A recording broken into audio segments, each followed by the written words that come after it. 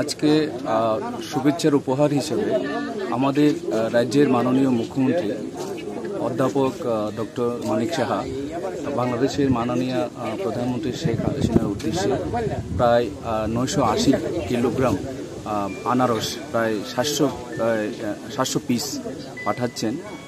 এটা আমাদের জন্য একটা সুভাতৃত্বের প্রতীক এবং আমরা গত বছর গত দু বছর ধরে আমরা পাঠাচ্ছি এবং এতে আমরা সারাও পাচ্ছি।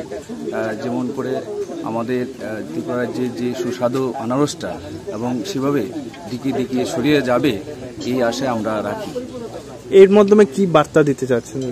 এটা মানে দু দেশের মধ্যে যে সুসম্পর্ক আছে এবং বিভিন্ন যেটা ওনাদের জন্য খুব গর্বের, যেমন ওনারা এক জাতের আম পাঠিয়েছেন আমাদের ত্রিপুরা রাজ্যের মাননীয় মুখ্যমন্ত্রী মহোদয়কে, সেরকমভাবে আমাদের ত্রিপুরা রাজ্যের যে সবচেয়ে বিখ্যাত ফল ত্রিপুরা রাজ্যের উৎপাদিত আনারস, এটাই পাঠানো হয়েছে অ্যাজ এ মানে ইয়ে হিসাবে সিম্বল অফ রেসপেক্ট লাভ বা শুভেচ্ছা উপহার হিসাবে পাঠানো স্যার আপনার পরিচয়? আমি doctor Phanibhushan Matia director horticulture government of Tripura.